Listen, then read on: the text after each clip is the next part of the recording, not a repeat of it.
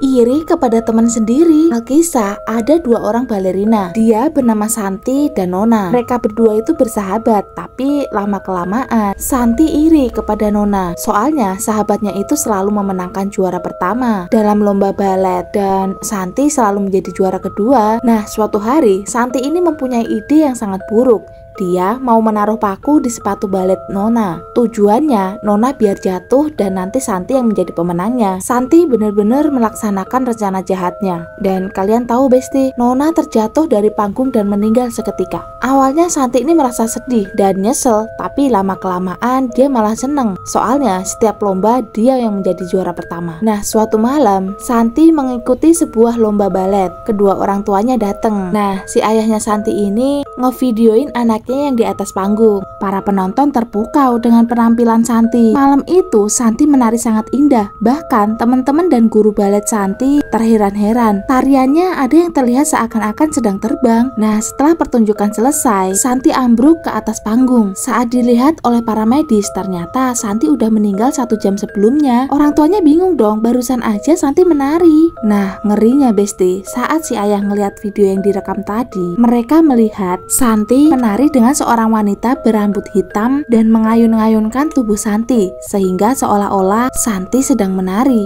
padahal Santi udah meninggal.